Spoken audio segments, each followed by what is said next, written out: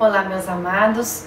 Hoje é dia 16 de agosto e é muito bom estar com você aqui no nosso projeto Leitura Orante da Palavra do Senhor. Este projeto que tem aqui neste canal com a intenção mesmo de abrir a nossa Bíblia, de ler a palavra do Senhor, de meditar com ela, de compreender o que Deus tem a nos revelar.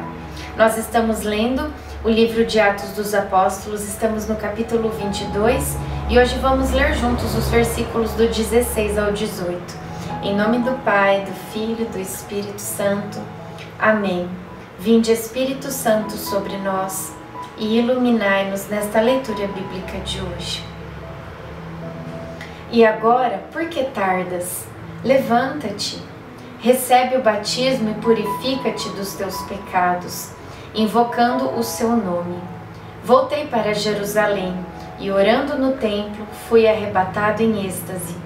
E vi Jesus que me dizia: Apressa-te e sai logo de Jerusalém, porque não receberão o teu testemunho a meu respeito. Palavra do Senhor. Graças a Deus.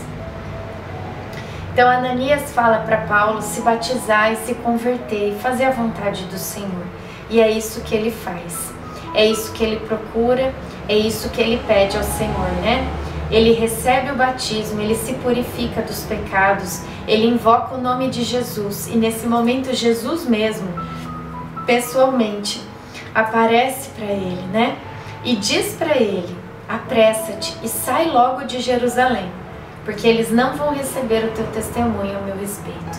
Jesus sabia tudo que Paulo teria que passar, as dificuldades pelas quais ele teria que passar, que ele enfrentaria, Jesus sabia e já avisou a ele, né? Vai, vai embora daqui porque aqui não vão te receber bem.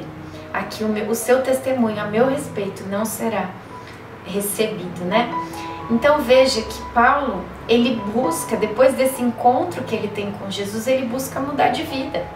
Ele realmente muda de vida. A partir do dia que ele caiu do cavalo, ele levantou ele já não era mais Saulo, ele já era Paulo.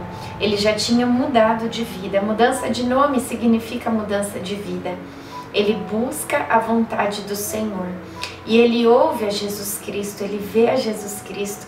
E é bonito de ver porque Jesus escolheu um perseguidor dele como um instrumento dele.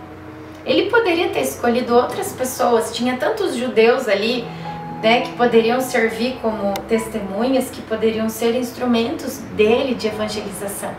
Mas ele escolhe Paulo, um homem que perseguia ele, para que a graça de, de Deus fosse revelada nesta conversão, né?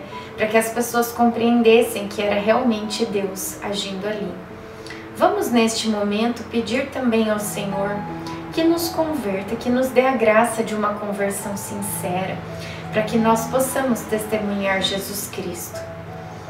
Pai querido, nós te agradecemos por esta palavra de hoje, que nos inspira, que nos ilumina e que nos mostra que Paulo imediatamente mudou de vida ao encontrar-se com Jesus.